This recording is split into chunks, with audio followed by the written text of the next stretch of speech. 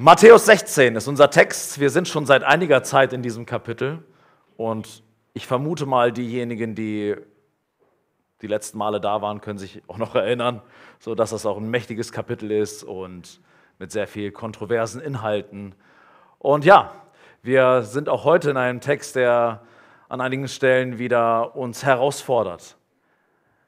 Ich bekomme langsam ein Gefühl, wie es sein muss, oder wie es sein musste für Jesus, als er Inhalte weitergegeben hat, die für die Menschen zu schwer zu hören waren. Was das auch in den Menschen auslöst, wenn man diese Worte hört, die Jesus sagt, wenn er seine Lehre platziert und die Gedanken komplett auch von den Menschen auf den Kopf stellt. Ich bekomme langsam ein Gefühl, was das eigentlich auch macht das ist das eine, dass wir hier miteinander lesen, was Jesus sagt. Aber wie ihr auch in den letzten Botschaften vielleicht mitbekommen habt, was das eigentlich alles mit sich bringt und dass es häufig auch konträr ist zu unseren Überzeugungen, was Jesus vermittelt, hey, das macht ganz schön was. Und das macht was mit den Menschen. Und wie wird Jesus damit umgegangen sein, als er die ganzen Inhalte weitergegeben hat, die wir auch miteinander lesen? Wir befinden uns in Matthäus 16 an einem wichtigen Punkt der Geschichte von Jesus. Ihr könnt euch vielleicht erinnern, dass die Jünger an einem Punkt gekommen sind, wo sie das erste Mal Jesus nicht nur einfach als einen guten Lehrer und Rabbi erkannt haben, sondern plötzlich haben sie erkannt, dass Jesus der Christus ist. Ihnen wurde etwas vom Himmel offenbart. Der Vater im Himmel hat ihnen Erkenntnis gegeben. Er hat ihnen den Blick eröffnet dafür, wer Jesus in Wahrheit ist. Und er ist der Christus, er ist der Messias. Und anstatt diese Botschaft, dass jetzt der Retter der Welt da ist, weit zu streuen, hatte Jesus, als sie das erkannt hatten, einen völlig anderen Plan. Denn wir lesen in Matthäus 16, Vers 20, dass es heißt, dann gebot er den Jüngern, dass sie niemand sagten, dass er der Christus sei. Und das ist schon ein bisschen irritierend, weil unser Bekenntnis ist, dass Jesus der Christus ist. Wir lassen uns taufen auf den Namen von Jesus Christus. Wir nennen uns sogar Christen, weil wir von Jesus stammen, von Jesus zeugen.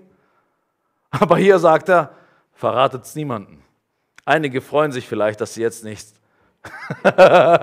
rausgehen müssen und den Leuten erzählen sollen, dass sie Christen sind. Jesus sagt doch, ich soll es geheim halten. Also können wir das schön als Geheimnis für uns behalten und brauchen niemanden damit traktieren. Und wenn uns jemand fragt, dann verraten wir es niemanden, mit wem wir es eigentlich zu tun haben und an wen wir glauben. Das ist natürlich nicht hier an dieser Stelle damit gemeint, dass wir von Jesus nicht erzählen sollen, dass er der Christus ist, aber in diesem Augenblick sollten seine Jünger noch dicht halten. Und das ist schon sehr irritierend. Warum eigentlich? Wir werden hier gleich lernen, nur weil wir das Richtige sagen, dass Jesus der Christus ist, heißt das nicht automatisch, dass wir verstanden haben, was wir sagen. Wir sagen manchmal richtige Dinge, wir erkennen richtige Dinge, aber was dieses Richtige eigentlich bedeutet und wie sich das dann auch entfaltet, das steht häufig auf einem ganz anderen Blatt.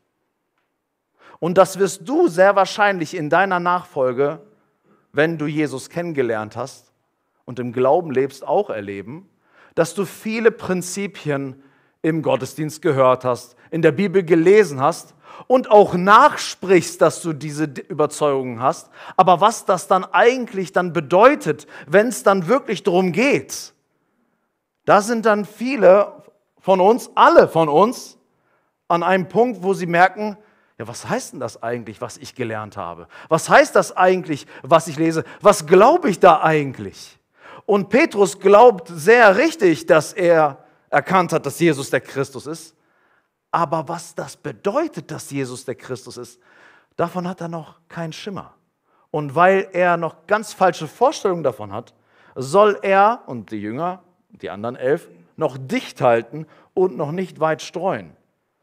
Mit diesem herausragenden Titel Christus, Jesus hat nicht den Nachnamen Christus, sondern das ist sein Titel.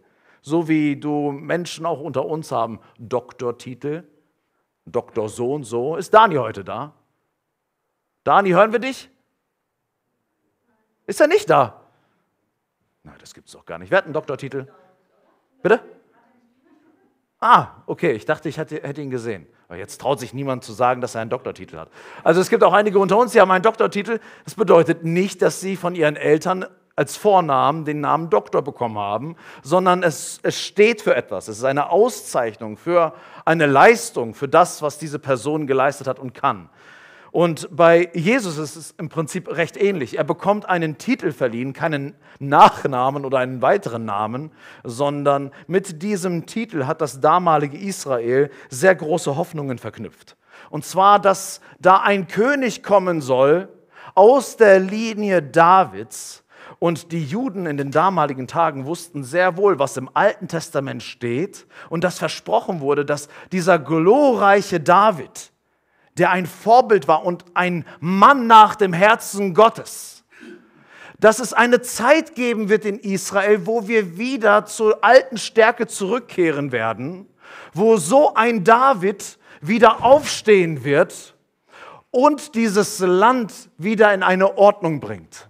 Wo die Juden, die verstreut leben, wieder zusammen vereint werden in Israel und die Nation Israel zusammen geeint wird und wie ein Juwel auf diesem Planeten leuchten wird, sodass alle Nationen dieses helle Licht, diesen Juwel sehen werden und sagen, wir wollen genau dorthin, um Gottes Gegenwart erleben zu können und Gottes Herrlichkeit zu schauen.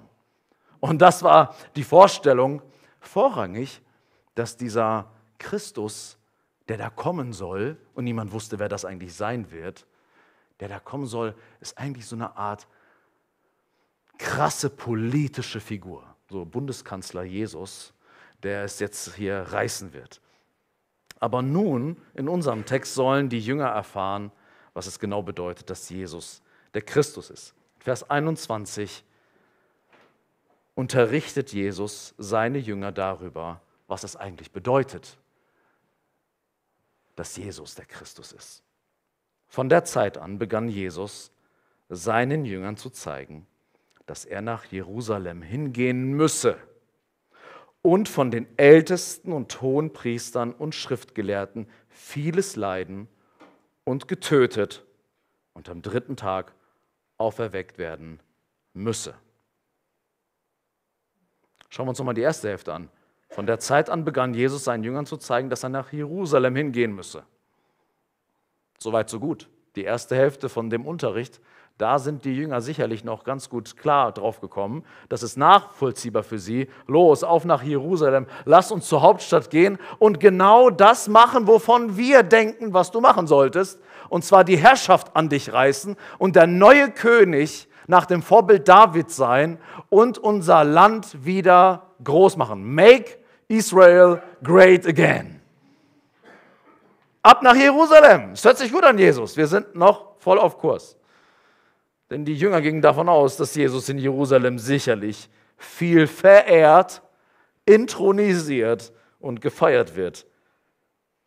Aber Jesus sagt, ich gehe nach Jerusalem, um nicht viel verehrt, intronisiert und gefeiert zu werden, sondern um vieles zu leiden getötet zu werden und auferweckt.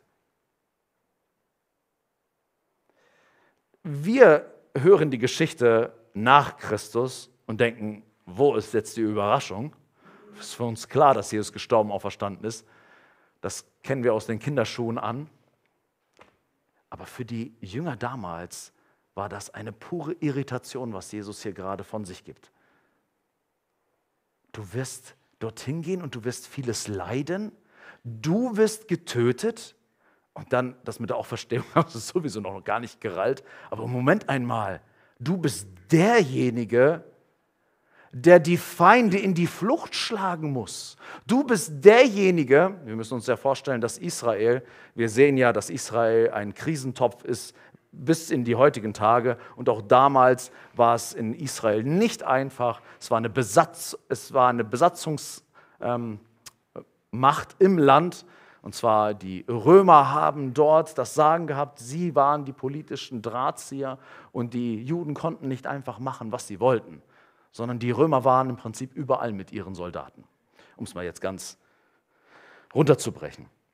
Und anstatt dass du deinen Feinden sagst, wo sie, oder unseren Feinden sagst, wohin sie sich zu verziehen haben, damit sie vieles leiden und dass sie getötet werden, sagst du, dass du viel leiden wirst und dass du viel getötet wirst. Und dann setzt er noch einen drauf, ja, von wem wird er denn eigentlich Leid erfahren? Und wer wird ihn töten? Für die, für die Jünger wäre es logisch gewesen, naja, unsere Feinde, und zwar die Römer, die uns unser Land nicht einfach so überlassen.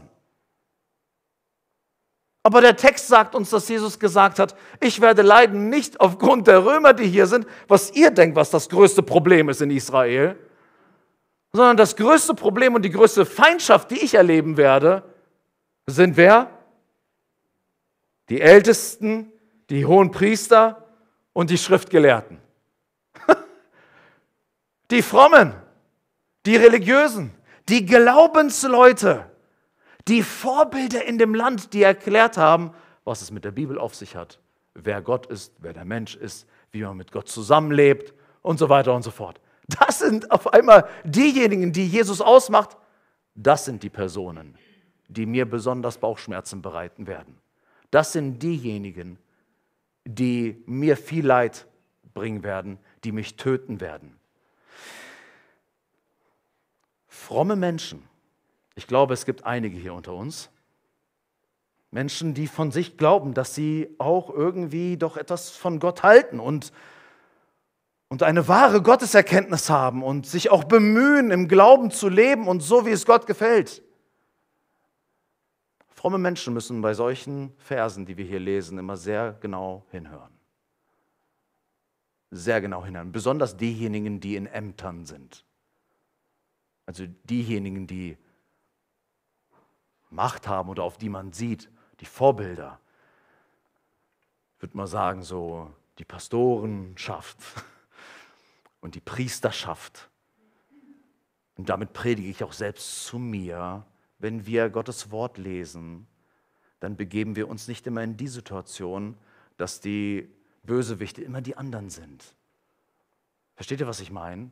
Wir gehen meistens so durch den Alltag. Die anderen sind die Miesen und ich bin der Gute.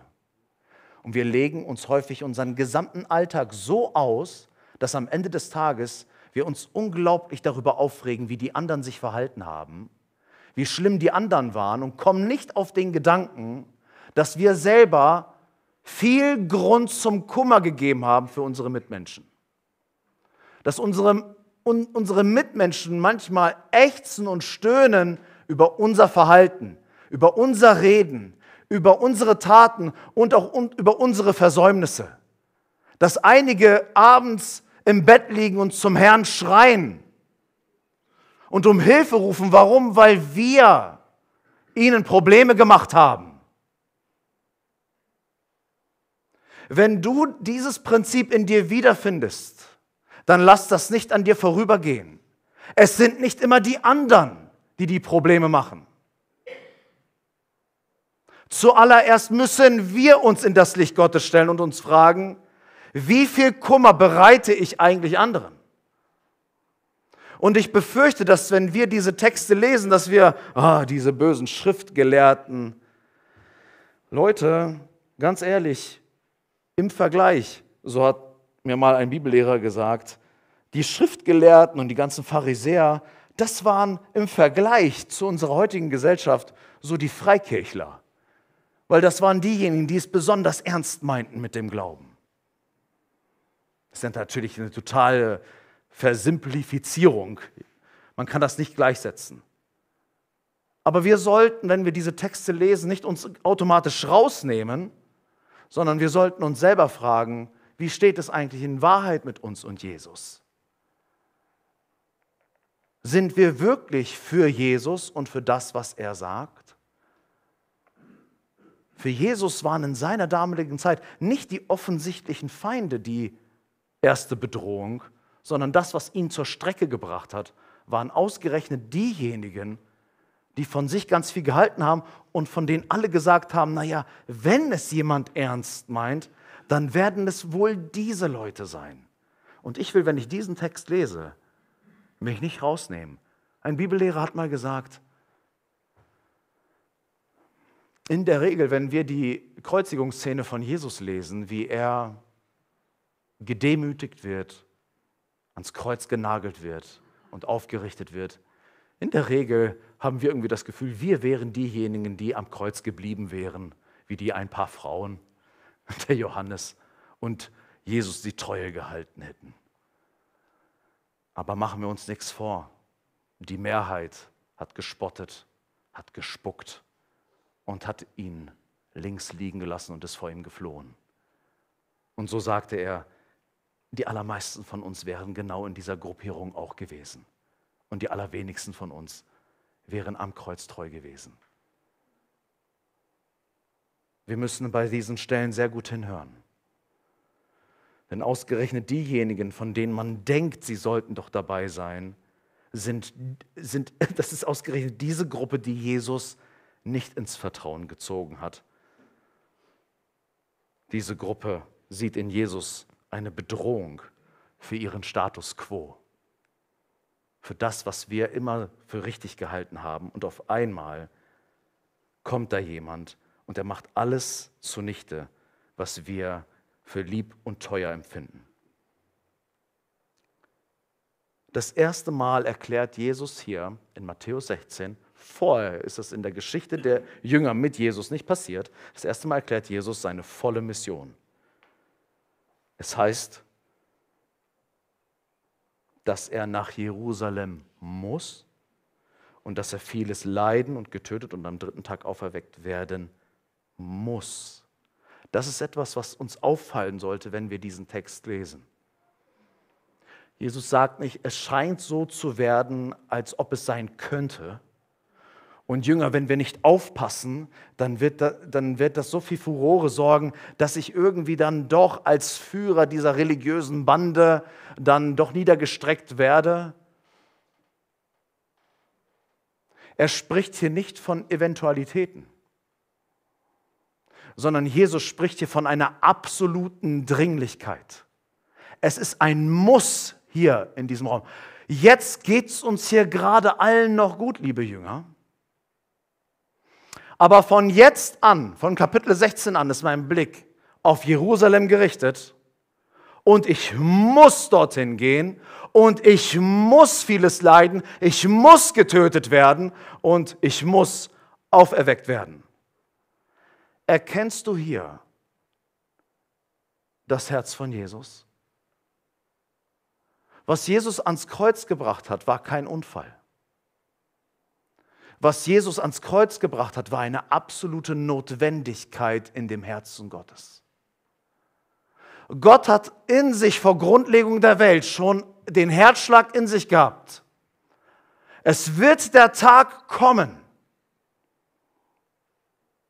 wo diese Menschheit gerettet werden muss.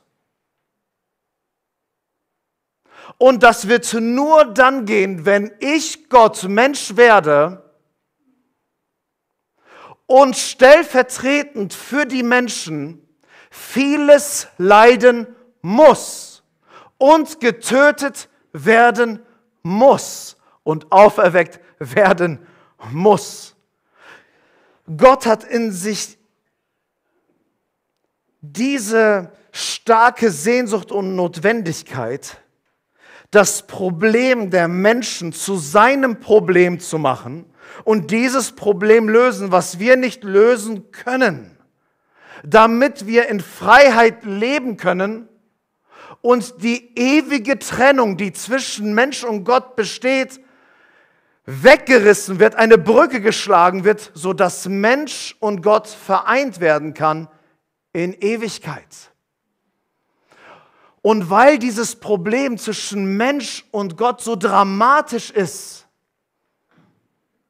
muss es geschehen, dass Jesus gekreuzigt wird.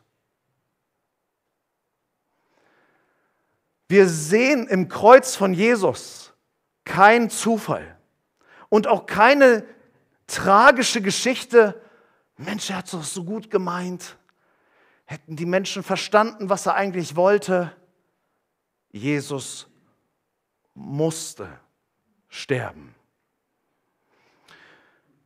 Wenn du in eine versöhnte Beziehung zum Vater im Himmel kommen möchtest, dann kommst du an diesem Fakt nicht vorbei, dass es absolut notwendig war, dass der Sohn Gottes für dich gelitten hat und für dich sterben musste und für dich stellvertretend auferstehen musste. Jeder, der denkt, durch mein bisschen Frömmigkeit und durch meine Bemühungen, ein guter Mensch zu sein in diesem Leben, das Beste aus mir herauszuholen, die beste Version meiner selbst zu sein, ist das, was mich mit Gott verbindet. Muss an dieser Stelle kapitulieren. Und wenn du deine einzige Hoffnung bist, dann wirst du mit dieser Hoffnung sterben und auf ewig von Gott getrennt bleiben. Ja, wie kann das sein? Walmar, bist du so hochmütig? Bist du etwa besser als ich? Nein, eben nicht. Es geht darum, sich vor Gott zu demütigen und zu erkennen, welche Spielregeln er uns zeigt. Und er zeigt deine Situation, Waldemar, ist so hoffnungslos. Du bist nicht besser als die anderen. Hey Waldemar, du bist vielleicht sogar schlimmer als die anderen, weil du mehr Erkenntnis hast als die anderen. Und trotzdem immer wieder, immer wieder und immer wieder Fehler machst. Hier ist kein Rühmen auf meiner Seite zu sagen, schaut mich an und deswegen habe ich eine versöhnte Beziehung zu Gott und eine herrliche Zukunft im Gegensatz zu dir. Nein, es geht darum, sich zu demütigen und zu erkennen, was absolut notwendig war. Und zwar, dass Gott sich selbst hinrichten lässt, stellvertretend für das, was ich eigentlich verdient habe. Und zu sagen, Herr, in mir ist gar nichts. Nichts kann ich hier aufbieten. Petrus ist auch nicht aufgestanden und hat gesagt, aber Herr, ich habe doch eben gerade was ganz Tolles erkannt. Ich habe doch so viel Erkenntnis jetzt schon von dir. Gott, Vater im Himmel hat mir eine Offenbarung gegeben. Reicht es nicht? Ja, was hat er dir offenbart? Ja, dass du der Retter der Welt bist. Und jetzt erkläre ich dir, was das konkret bedeutet. Und indem ich dir das erkläre, zeige ich dir, wie es um dich steht, Petrus, und was nötig ist für dich und für alle anderen, die da folgen. Jesus muss das machen. Nicht kann. Er muss es machen. Aber nicht aus Zwang, sondern freiwillig. Johannes 10, Vers 17 bis 18 sagt Jesus folgendes. Darum liebt mich der Vater, weil ich mein Leben lasse um es wiederzunehmen. Hier haben wir wieder Tod und Auferstehung. Niemand nimmt es von mir, sondern ich lasse es von mir selbst. Ich habe Vollmacht, es zu lassen und habe Vollmacht, es wiederzunehmen. Dieses Gebot habe ich von meinem Vater empfangen. Es gibt so eine ziemlich perverse und kaputte Theologie in unseren heutigen Tagen, die sagt, wenn ihr von dem gekreuzigten Sohn Gottes spricht, dann redet ihr ja davon, dass Gott seinen eigenen Sohn misshandelt und hier ein Kindesmissbrauch stattfindet. Dieses Argument geht seit einigen Jahren in der evangelikalen Welt so richtig durch die Decke. Und dieser Gedanke kommt direkt aus der Hölle und hat nichts mit Wahrheit zu tun. Ein Kindesmissbrauch, boah, ist jetzt echt ein schweres Thema, aber wir wissen alle, die Dynamiken, die darin entstehen, sind nicht von Freiwilligkeit geprägt. Lassen wir es mal an diesem Punkt. Jesus steht nicht hier, der Vater hat mir ein Gebot gegeben und jetzt kann ich nicht anders. Und ich werde jetzt hier vieles leiden und ich werde draufgehen. Jesus sagt, Der Vater hat mir ein Gebot gegeben. Niemand nimmt mein Leben von mir. Ich habe die Vollmacht. Ein Missbrauchsopfer hat keine Vollmacht, sondern genau das Gegenteil. Jesus sagt, ich habe die Vollmacht. Ich gebe es und ich nehme es wieder. Was zeigt uns das? Vater und Sohn sind nicht getrennt in ihrem Willen, sondern sind absolut eins. Stichwort Dreieinigkeit, dreieiniger Gott. Sind absolut eins, innig in, dieser, in diesem Entschluss, diesen Weg zu gehen. Philippa 2, Vers 5 bis 8. Da sagt Paulus den Christen in Philippi, habt diese Gesinnung in euch, die auch in Christus Jesus war, der in Gestalt Gottes war und es nicht für einen Raub hielt, Gott gleich zu sein. Was heißt das? Er hielt seine Herrlichkeit bei Gott, die er hatte, nicht wie eine Beute fest, die ein Räuber geklaut hat. Wisst ihr was? So der Räuber, der was klaut, der gibt es nicht her. Das ist meins. Ich habe das jetzt. Und das verwendet Paulus als Bild. Er hielt es nicht fest wie ein Raub, was er nicht wieder hergeben möchte. Er entäußerte sich selbst und nahm Knechtsgestalt an, indem er den Menschen gleich geworden ist und der Gestalt nach wie ein Mensch befunden, erniedrigte er sich selbst und wurde gehorsam bis zum Tod, ja zum Tod am Kreuz. Der Vater gibt dem Sohn den Auftrag, aber der Sohn ist nicht in einer Sekunde im Gegensatz zum Vater, sondern ganz im Gegenteil.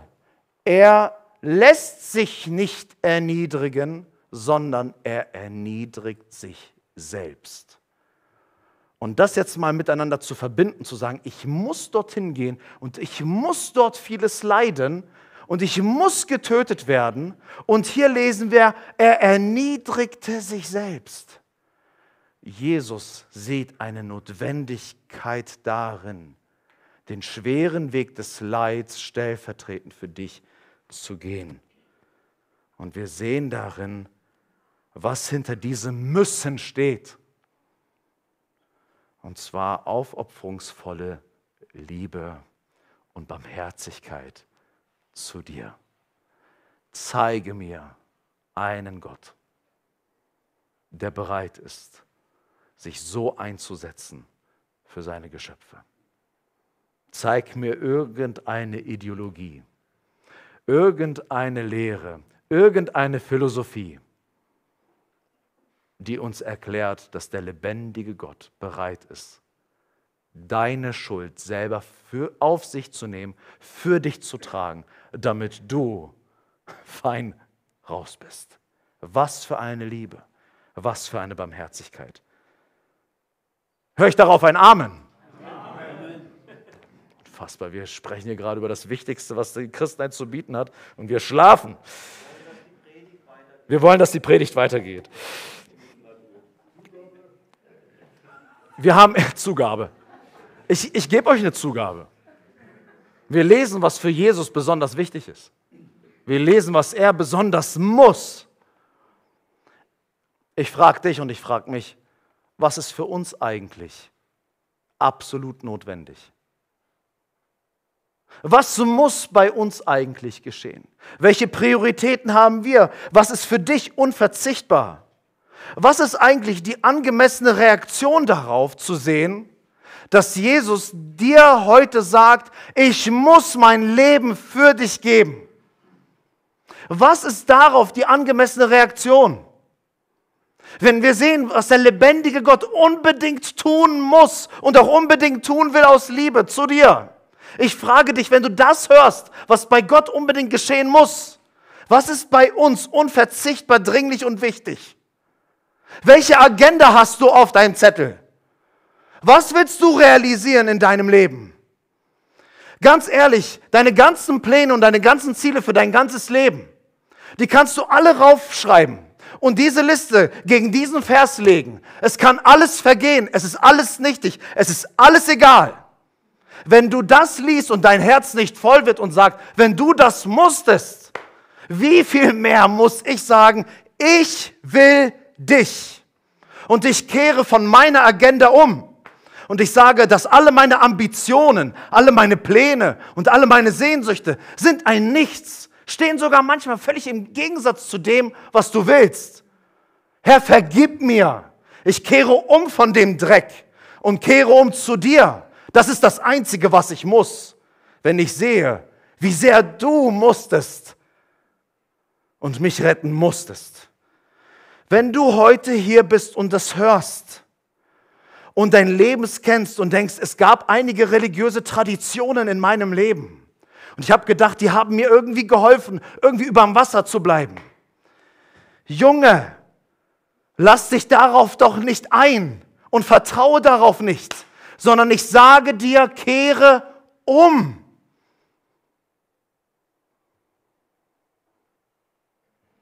Jesus liebt und ist barmherzig.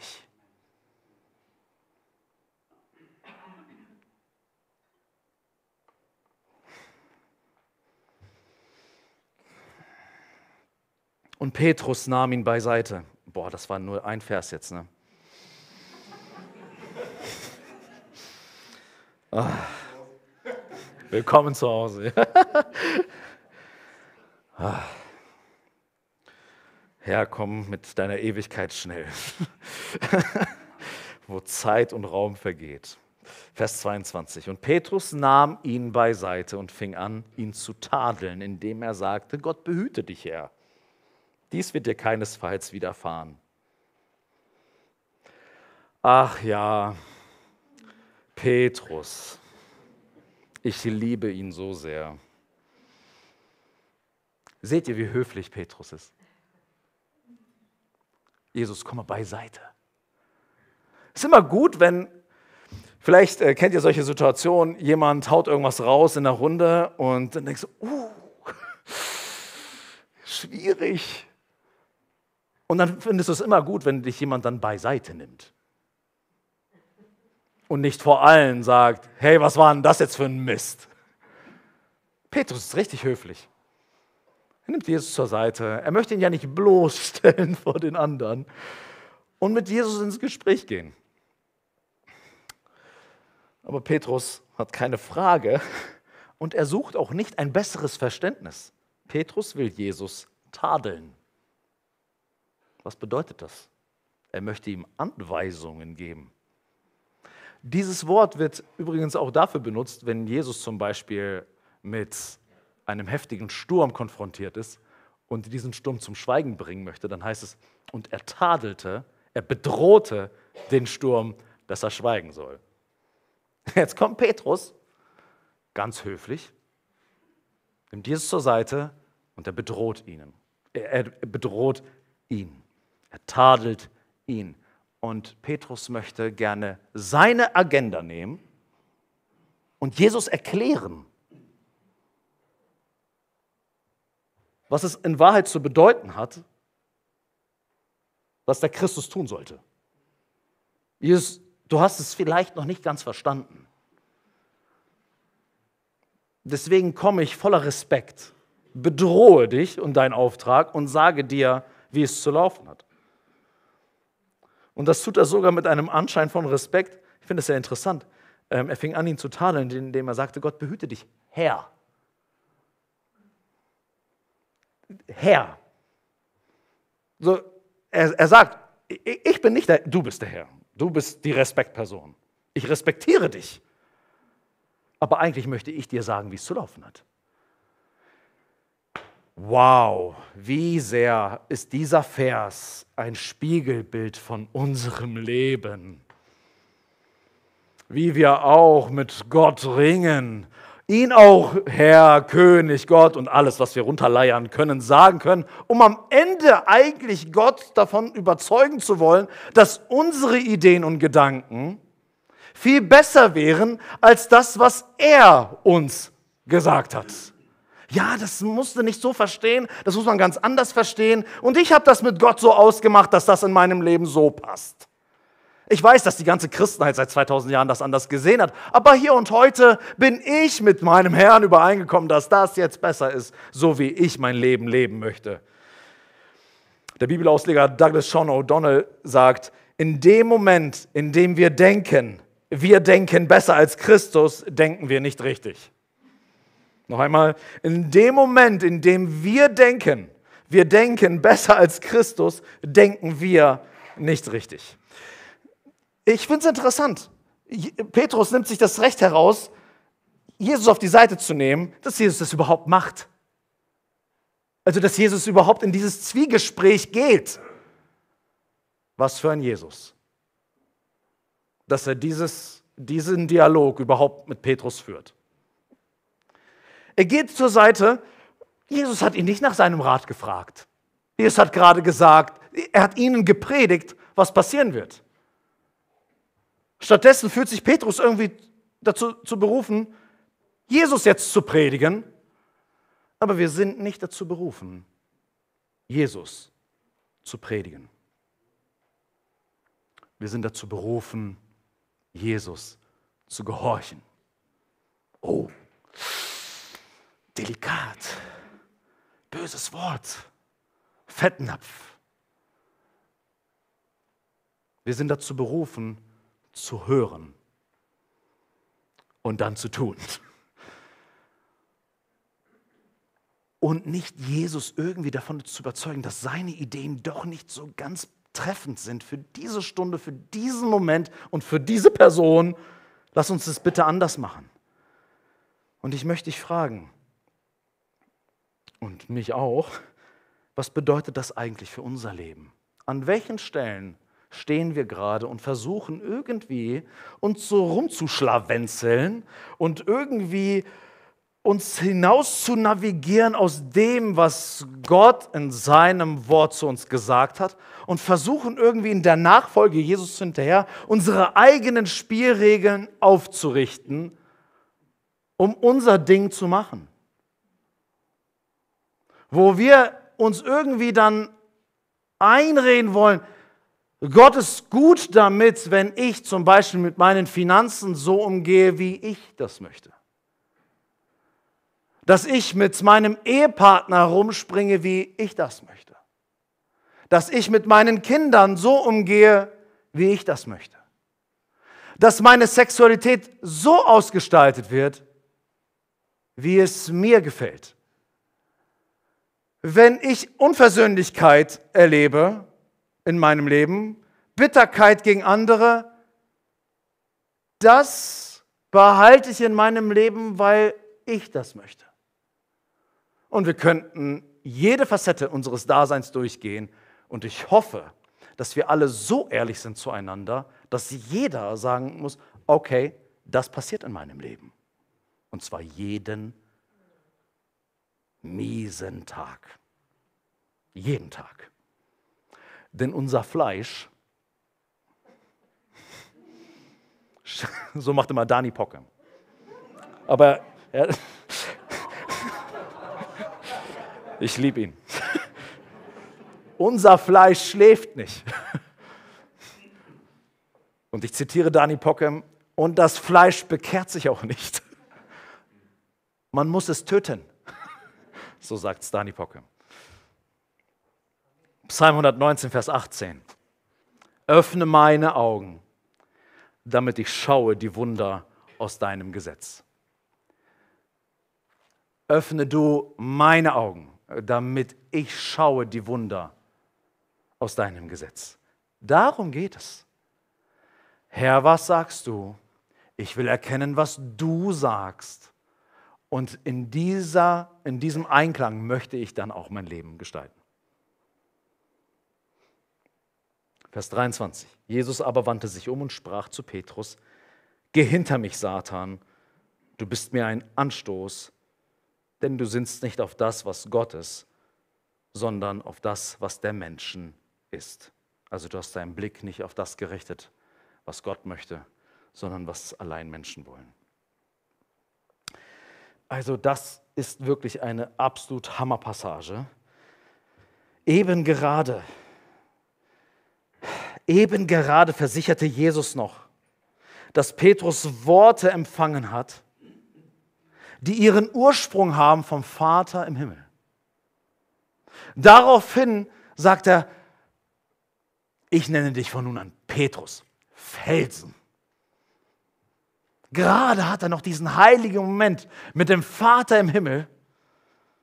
Und nun erkennt Jesus, dass die Worte von Petrus aus einer ganz anderen Quelle stammen. Habt ihr die Worte gehört? Welcher Pastor redet so mit seinen Mitgliedern? Satan, nein, geh hinter mich, Satan, du bist mir ein Anstoß. Jesus sagt hier nicht bloß, Petrus, du denkst ja wie Satan. Petrus, das, was ich höre, hat Ähnlichkeiten zu dem, was ich bei Satan kennengelernt habe, als es zum Beispiel in Matthäus 4 in der Versuchung in der Wüste zum Gefecht zwischen Satan und Jesus kam. Nein, Jesus geht so weit, dass er Petrus als personifizierten Satan anspricht und er konfrontiert ihn so, als wenn er es mit Satan selbst zu tun hat. Und spricht diese Worte, geh hinter mich, Satan. Ich würde sagen, Jesus, wie kannst du so zu jemandem sprechen, der doch eben gerade sehr deutlich gezeigt hat, wessen Geisteskind er ist? Dass er zum Vater im Himmel gehört, dass der Vater im Himmel ihm übernatürliche Offenbarung gibt, so wie niemanden sonst. Und das ist jetzt in dem nächsten Moment deine Anrede? Satan, geh hinter mich? Damals in der Wüste, als Satan Jesus versucht hatte und ihn auch abhalten wollte von seiner Mission, hat Jesus mit Bibelworten dagegen gehalten, hat gesagt, es steht geschrieben so und so, es steht geschrieben so und so. Und die ganze Szenerie endet mit den Worten, geh, Satan. Und er ging. Die gleichen Worte, die Jesus in der Wüste verwendet hat, um Satan fortzujagen, sind die gleichen Worte, die wir hier finden, wie Jesus mit Petrus spricht. Petrus schaut Petrus, Jesus schaut Petrus in die Augen und er fordert Satan erneut auf, zu verschwinden.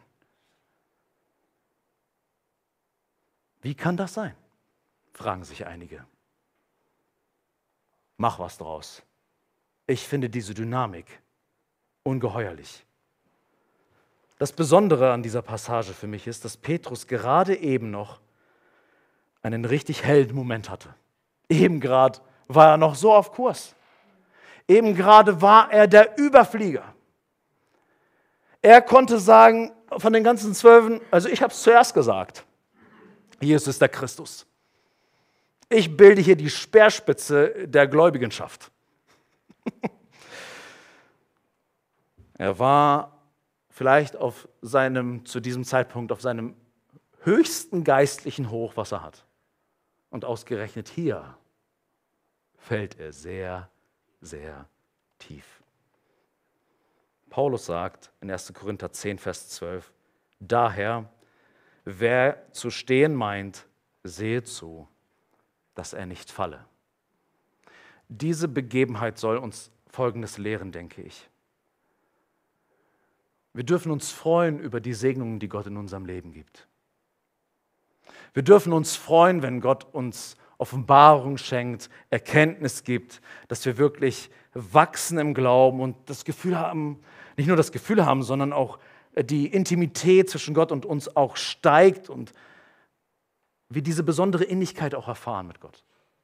Aber wir sollten immer aufpassen, dass dort, wo wir, wo uns auch viel anvertraut ist, dass es nicht bedeutet, dass wir völlig außerhalb des Gefechts wären und uns nichts antasten könnte, sondern in den Momenten, wo wir meinen, sicher zu stehen, dass uns nichts irgendwie überfallen könnte, sind häufig die allergefährlichsten Momente, die wir erleben können. Und das sehen wir an Petrus, dass dort, wo er wirklich gerade Gottes Offenbarung erfahren hat, dass dieser Moment in einen ganz anderen Moment auf einmal ausschlagen kann, wo er sich auf einmal in, einer ganz anderen, in einem ganz anderen Einflussbereich wiederfindet. Vers 24 bis 26. Dann sprach Jesus zu seinen Jüngern, wenn jemand mir nachkommen will, verleugne er sich selbst und nehme sein Kreuz auf und folge mir nach. Denn wer sein Leben retten will, wird es verlieren. Wer aber sein Leben, wer aber sein Leben verliert um meinetwillen, wird es finden. Denn was wird es einem Menschen nützen, wenn er die ganze Welt gewönne, aber sein Leben einbüßte? Und was wird ein Mensch als Lösegeld geben für sein Leben? Es ist nicht nur so, dass unser Text uns sagt, dass Jesus vieles leiden muss, sondern alle, die ihm nachfolgen, sind auch aufgerufen, es ihm gleich zu tun.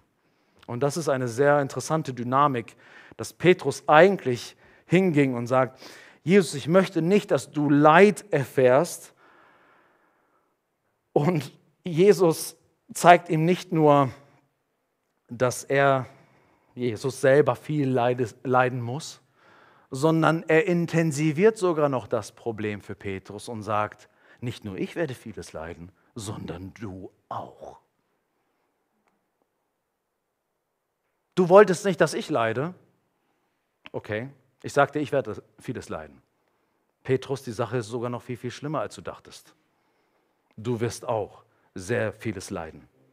Und hier kommen wir zu dem eigentlichen Problem, das Petrus hat kommen sehen. Wenn mein Anführer, aus Petrus Sicht, wenn mein Anführer, wenn mein König sein ganzes Leben einsetzt und ich Diener dieses Königs bin, dann geht es hier auch um mein ganzes Leben.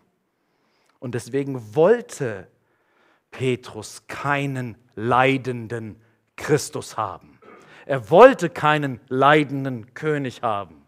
Denn wenn der König leidet, dann leide ich mit.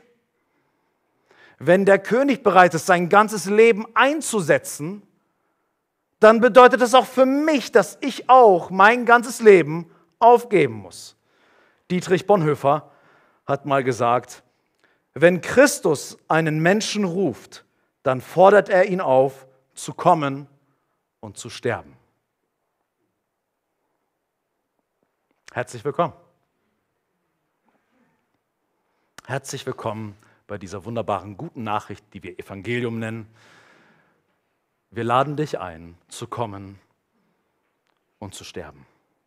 Denn wenn du kommst und stirbst, bist du in die Lage versetzt, das wahre Leben zu leben, was Jesus Christus dir versprochen hat. Aber wenn du kommst, um zu bleiben, dann wirst du mit allem, was du bist und hast, vergehen und nie das Leben genießen können, was Jesus für dich vorbereitet hat. Wir sind berufen zum Leiden. Wir sind berufen dazu, unser Fleisch zu kreuzigen. Wir müssen nicht so wie Jesus für die Sünde der Welt sterben. Das Kreuz, das wir tragen, ist ein, hat eine andere Art. Jesus musste stellvertretend für uns den Preis der Trennung zwischen Gott und Mensch bezahlen. Wir müssen nicht für die Sünde der Welt sterben. Aber wer sich zu Jesus Christus bekehrt und sein Vertrauen ihm schenkt, was wir übrigens in der Taufe zum Ausdruck bringen und morgen, morgen beginnt der Taufkurs, Andi und Dori machen den Taufkurs. Wer sich zu Jesus bekehrt, bekennt, dass er mit Jesus gemeinsam gestorben ist. Was bedeutet das? Wenn Jesus für den Dreck meines Lebens gestorben ist und ich sage, Jesus ist mein Herr und mein Retter von diesen Dingen, dann habe ich kein Recht, das am Leben zu erhalten, wofür Jesus bereits gestorben ist. Und das bedeutet es, sein Kreuz auf sich zu nehmen. Wir müssen nicht für die Dinge büßen. Das meint Jesus hier nicht. Aber er sagt, das, wofür ich stellvertretend für dich sterbe und die Strafe abtrage, willst du das wirklich noch aufrecht erhalten in deinem Leben? Möchtest du das am Leben erhalten in deinem Leben, wofür ich gestorben bin? Herr, wenn diese Sache deinen Tod erforderte und ich mit dir verbunden bin, dann ist diese Sache in deinem Grab und sie soll auch dort bleiben und ich will sie nicht hervorholen. Und deswegen halte ich diese Dinge aus meinem Leben fern mit aller Kraft, die du, Gott, mir gibst für diesen Prozess. Und diese Selbstaufgabe klingt wirklich irre. Es ist für, für den Menschen, der Gott nicht kennt und Gott nicht will, die dümmste Botschaft, die du im 21. Jahrhundert predigen kannst. Es ist genau das Gegenteil von dem, wovon unsere Medien Tag ein, Tag aus voll sind. Die dir die ganze Zeit predigen, wenn du durch die sozialen Medien gehst, zum Beispiel auf deinem Handy oder deine Glotze anschaltest, verwirkliche dich selbst. Sei du selbst. Sei du echt. Authentisch sein ist sozusagen das höchste Gut, des Menschen des 21. Jahrhunderts. Und lass dir von niemandem etwas einreden. Sei die Version, die du sein willst. Verwirkliche dich. Und wir predigen, gib dein Leben auf. Komm, um zu sterben. Das ist wirklich irre. Warum soll ich das tun? Warum sollte ein Mensch das tun? Jesus macht klar, dass es einen Grund gibt, warum sich dieser Verzicht, und das ist ein Verzicht, das ist auch manchmal schwer, auch manchmal hart, schmerzhaft. Kreuzigen ist in der Regel keine angenehme Angelegenheit. Manchmal ist es auch eine, sind es harte Lektionen, aber Jesus gibt uns einen Grund, warum es sich lohnt. Vers 27 und 28. Und dann kommen wir auch tatsächlich gleich zum Schluss. Denn der Sohn des Menschen wird kommen in der Herrlichkeit seines Vaters mit seinen Engeln und dann wird er einem jeden vergelten nach seinem Tun. Bist du in meiner Nachfolge? Dann wirst du entsprechend auch eine herrliche Ewigkeit genießen. Bist du nicht in meiner Nachfolge, wirst du genau das empfangen, wofür du dich entschieden hast. C.S. Lewis war es, glaube ich, der mal gesagt hat, am Ende der Tage wird Jesus uns sagen, dein Wille geschehe. Das, was du von ganzem Herzen wolltest, wird sich in alle Ewigkeit fortsetzen. In die eine Richtung oder in die andere Richtung. Vers 28, wahrlich, ich sage euch, es sind einige von denen, die hier stehen, die werden den Tod keinesfalls schmecken, bis sie den Sohn des Menschen haben kommen sehen in seinem Reich. Oder wie der Evangelist Markus das in Markus 9, Vers 1 sagt, bis sie das Reich Gottes in Kraft haben kommen sehen. Das, was Jesus seinen Anhängern hier in Aussicht stellt, ist das, was ihnen eine heilige Motivation gibt und eigentlich eine Motivation in, in ihnen entfacht. Wir lassen alles los, um das ewige Leben im Tausch zu bekommen. Ich lasse alles los in meinem Leben, auch wenn es für die Menschen dieser Welt völlig verrückt ist. Aber warum tue ich das? Weil das, was in der Ewigkeit auf mich wartet, viel größer ist als das, was ich hier jetzt haben könnte. Nur das Problem ist, dass wir einen verschobenen Blick auf die Realität haben. Wir denken, wir leben für diesen Moment. Und weil wir denken, wir sind Menschen für diesen Moment, suchen wir aus jeder Sekunde das Maximale für uns herauszuziehen. Und dieses Leben auszupressen. Und wir werden am Ende der Tage merken, dass da kein Saft mehr übrig geblieben ist. Alles vergeudet, alles für die Katz.